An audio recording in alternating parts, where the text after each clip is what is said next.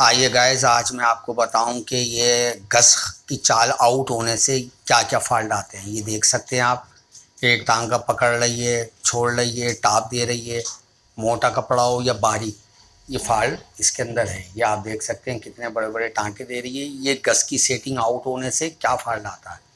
तो आपने ये बोबिन कैसे निकालना है अच्छा नाल शटल नहीं निकालना है आपने।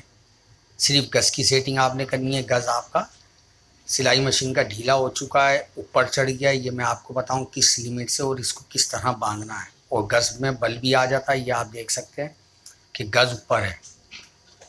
तो इसकी वजह से आप परेशान हो रहे हैं, धागा छोड़ लीजिए। ज़ाहिर है आप परेशान होंगे कारीगर के पास जाएँगे तो या आप वीडियो पूरी देखते रहें। इन आपका फ़ायदा होगा। ये देखें आप कि ये गज़ में कितना बल आया हुआ है।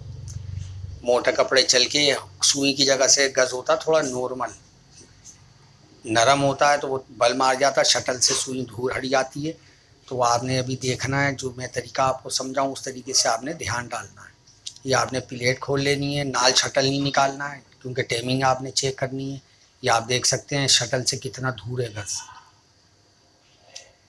या आपने होर से देखना है, शटल के इतना दरमियाना चले कि सुई हल्की हवा बराबर टच हो, ज़्यादा दूर हो तो हथौड़ी से आपने ये देख सकते हैं, बहुत चाल है। अब हथौड़ी से आपने इसको किस तरह दबाना है, वो आपको मैं अभी समझाऊँगा ये प्लेट के ज़रिए। ये देखें, पटरी बल यहाँ लगेगा आपका। ये आपने हल्की सी चोट मारनी है अभी और हल्की सी चोट लगेगी। हल्का सा बल और है, ये आपने हल्की सी और चोट मारी है, ज़्यादा तेज़ नहीं मारना है। अगर ज़्यादा लग भी जाए तो पीछे से वापस चोट मार के हटा देना है। अब ये प्लेट आप हटाएँ।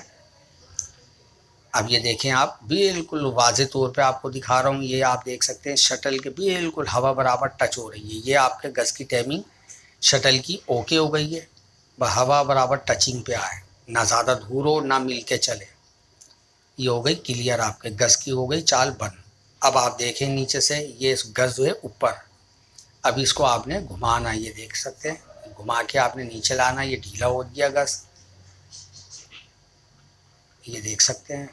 अब ये आपने गज हल्के हल्के घुमा के इसको इतना नीचे लाना है कि मैंने आपको बताया कि ये उंगली पे आपकी सुई टचिंग करे। यानी कि नोक आपके टच हो उंगली पर इस लिमिट पर रख के आपने ये कस लेना है गज़ को। अगर मेरी वीडियो पसंद आए बर मेहरबानी।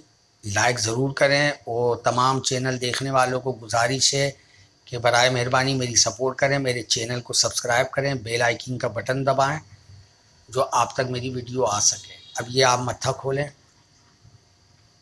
अब ये वाज तौर पे ये आपको दिखा रहा हूँ, स्टड के अंदर पेंच होता है। ये याद रहे, पेंच के खांचे कम होते हैं, पेंच का सही बैठता नहीं है तो अगर खांचा कम हो, आरी से आपने खांचा लगा के इसकी कसाई करनी है। ये आपके गस की ताकत से कस दिया। ये आपने प्लेट कस लेनी है।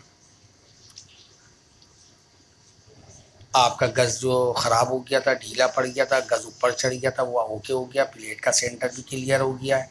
अब आपने बूट लगा लेना है। नाल शटल की भी आपकी टाइमिंग सेट हो गई है। ये आपने घर पे बसानी कर सकते हैं, कहीं जाने की ज़रूरत नहीं है। अब ये आप सिलाई करके देखें एकम एक मोती की तरह टांका कहीं टाप नहीं छोड़ेगी, ना छोड़ छोड़ के सिलाई देगी, बिल्कुल क्लियर हो चुकी है। इन अगली वीडियो में और आपको नए तरीके समझाऊँगा, जो आपको परेशानी ना हो, ज़ाहिर सीज़न आ रहा है, रमज़ान भी है शुभ रात वगैरह आ रही है तो आप लोग बसानी घर बैठे अपने पैसे भी बचा सकते हैं और बसानी घर में काम कर सकते हैं। अभी आप देख सकते हैं ये टांका कितना क्लियर हो गया है, कहीं भी आपकी सिलाई मशीन टाप नहीं छोड़ेगी। ये है असल गस बांधने का तरीका, इस तरीके से आपने गस को बाँध लेना है। ये आप देख सकते हैं सिलाई एक हमें क्लियर है। ये आप देखें क्लियर हो गई है। ये एक हम एक मोती की तरह है। ये भी टांका क्लियर है, कोई टाप नहीं है। दोबारा आप सिलाई लगा के देखें। बिल्कुल क्लियर हो चुकी है मशीन। गस की भी टाइमिंग आपकी ओके हो गई है शटल की